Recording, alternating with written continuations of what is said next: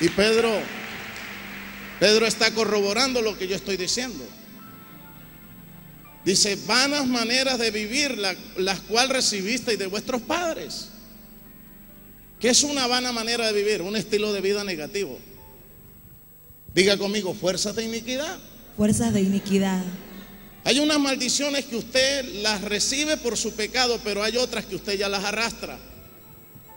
Usted puede estar arrastrando un cáncer, usted puede estar arrastrando un espíritu de pobreza, usted puede estar arrastrando un espíritu de brujería, usted puede estar arrastrando un espíritu de muerte prematura porque eso forma parte del background, del ciclo generacional que hay en su familia. Pero no se ponga serio, los vamos a romper. Aleluya. Hoy la unción quiebra y rompe los yugos.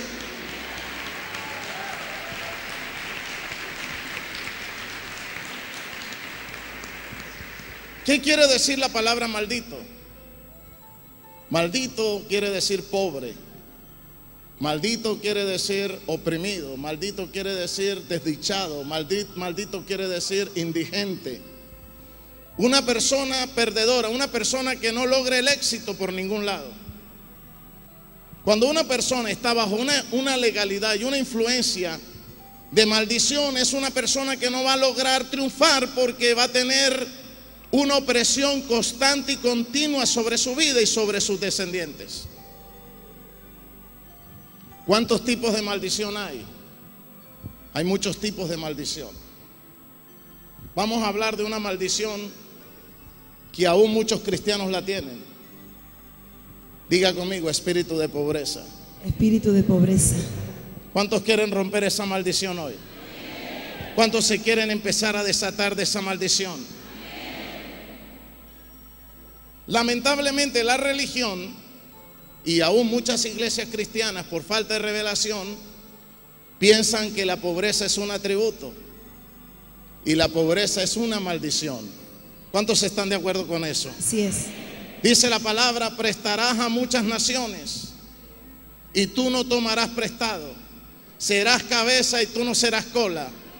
¿Cuántos pueden aplaudir el nombre del Eterno?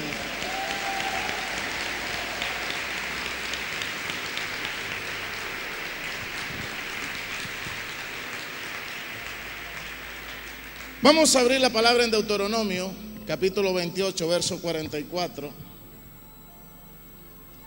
Dice, Él te prestará a ti y tú no le prestarás a Él. Él será por tu cabeza y tú serás por cola. Maldito serás en la ciudad y maldito en el campo. Maldita tu canasta y tu arteza de amasar. Diga conmigo, maldiciones financieras. Hay personas que lamentablemente arrastran la pobreza desde el vientre de su madre porque ha sido una herencia. La maldición la han heredado de sus padres. Cuando usted viene de un hogar pobre, cuando usted viene de un hogar marcado por el espíritu de la pobreza, de la miseria y de la, de la, de la escasez, ese espíritu sigue generacionalmente atacando a todos los que vienen y a todos los que pertenecen a ese árbol genealógico. Hoy el Espíritu Santo va a empezar y a quebrar en la vida de ustedes espíritus de pobreza, espíritus de ruina. Usted como iglesia no puede mirar la pobreza como un atributo, tiene que mirarla como un demonio, como una maldición y tiene que empezar a cortarla en esta noche y echarla fuera en el nombre de Yeshua.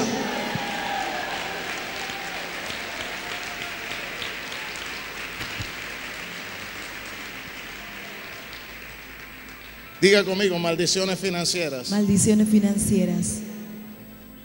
¿Y qué dice Pedro? Diga conmigo, vanas maneras de vivir. Vanas maneras de vivir. Que recibisteis de vuestros que recibisteis de padres. vuestros padres. Obviamente que no le vamos a echar la culpa de nuestro fracaso de toda nuestra familia, porque evadiríamos nuestra responsabilidad. Pero gran parte de las maldiciones financieras y ese espíritu de fracaso, de atraso, de tercermundista, de bajo perfil, Ese espíritu de no triunfador, de desempleo, de no ser brillante, forma parte de la maldición y del demonio generacional de pobreza que ha estado sobre tu familia. Hoy vamos a desautorizar. Hoy vamos a cortar. Dicho sea de paso, para más completar, hay cristianos que le ayudan a Satanás a ser más pobres robándose los diezmos y las ofrendas. Aló, Decirle al que está al lado, el Señor te está hablando. Pero hoy vamos a cortar, amén. Hoy vamos a destruir. ¿Cuántos aplauden a Yeshua?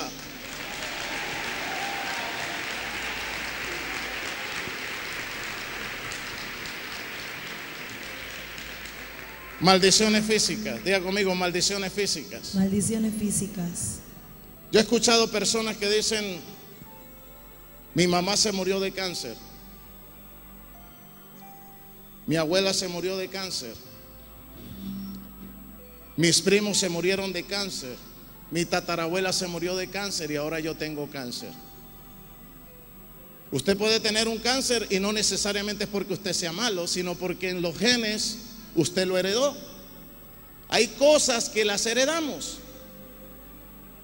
Hay cosas que las recibimos por herencia. Y hay otras que las adquirimos por mala conducta. Pero en esta noche el Señor se va a glorificar. Hoy todo el que tiene hambre de ser libre no se va a ir con las manos vacías. El Eterno va a derramar una unción poderosa de liberación. Así es.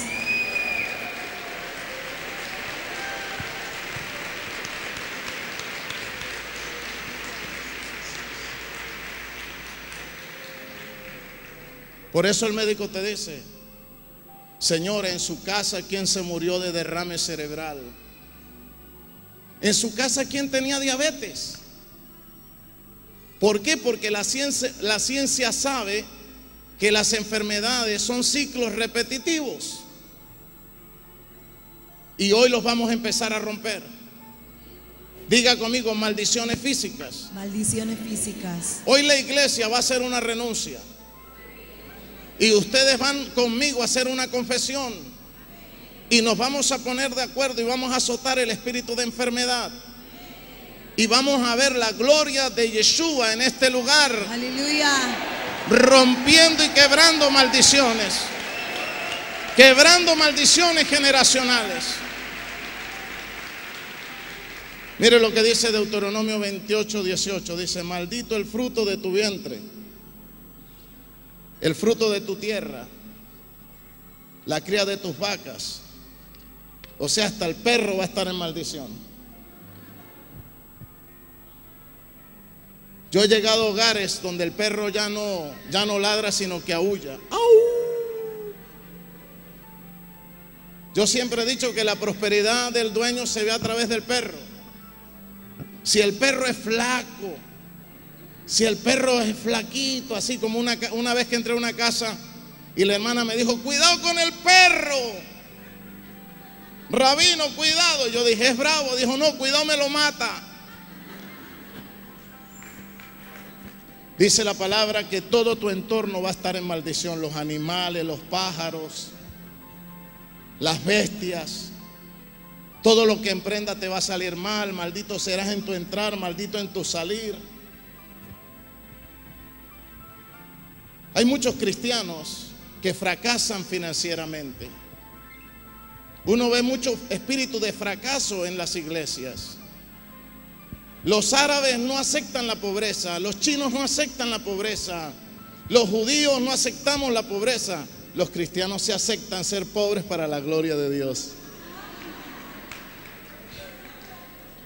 Y lo que usted acepta se queda. La Biblia dice, resistí al diablo y él huirá. Échela afuera y va a empezar a oír.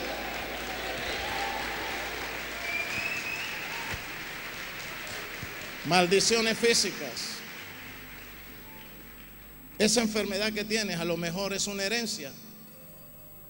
Rabino, ¿y cómo hereda uno las maldiciones?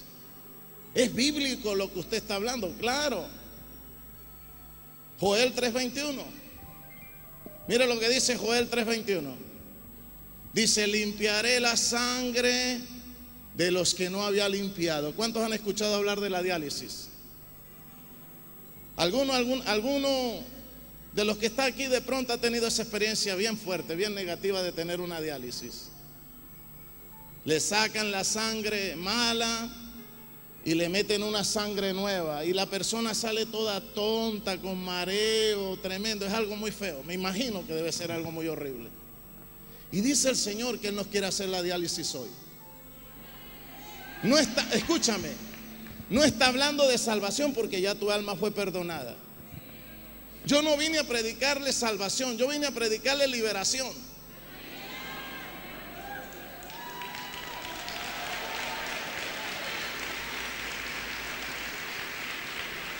Escúchame. Dice el Señor, limpiaré la sangre. ¿Qué dijo Pablo? Dijo, yo en mi hombre interior me deleito en el Señor, pero veo que hay una ley dentro de mis miembros que se revela contra mí y me lleva cautivo al pecado. ¿Quién me librará de este cuerpo de muerte? En su espíritu, Él era libre para servir al Señor. Yo sé que tú vienes a la iglesia, cantas, ofrendas, diezmas, pero tienes conflictos internos, tienes enfermedades, tienes vicios todavía que no has vencido, tienes herencias, ataduras, y eso es lo que se llama herencia maldita. Y eso está en los genes, pero hoy el Señor te dice que te va a hacer la diálisis. Te va a limpiar la sangre.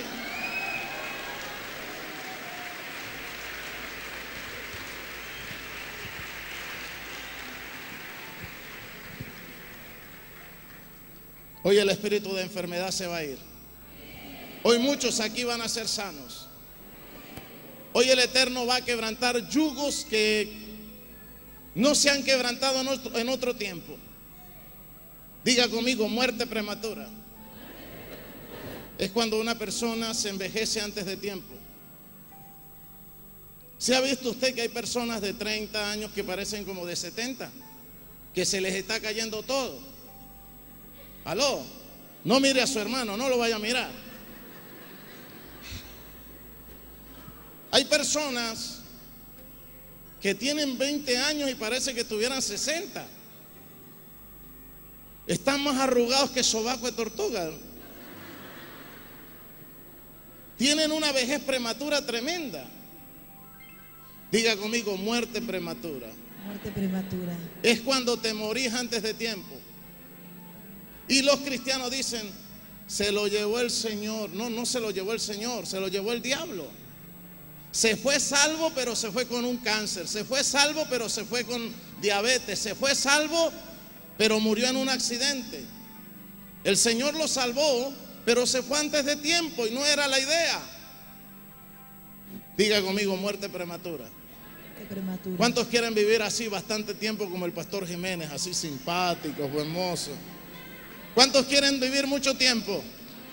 Amén. Aplauda al Eterno. Aleluya.